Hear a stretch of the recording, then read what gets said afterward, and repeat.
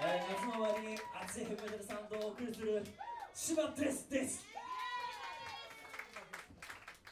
えー、みんなうちのメンバーみんなアラフォーアラサーで、まあ、初代持ちで、まあ、忙しい中時間を割いて、まあ、半年間この日のために練習してきたんでまあちょっとまだおぼつかないところもあるかもしれないけどもそこはノリと気合で乗り切るんでみんな頼むぞまあちょっとこういうアットホームの雰囲気の中でこんなちょっとうるさい音楽をこう持ち込んで大丈夫かなとか思ってたんだけどま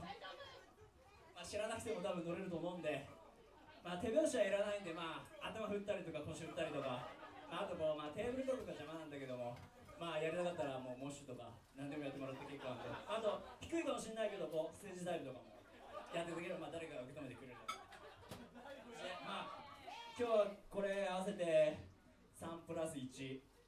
あるんで、まあ、あとちょっとボーナス的なところもやるんで、まあ、最後までよろしく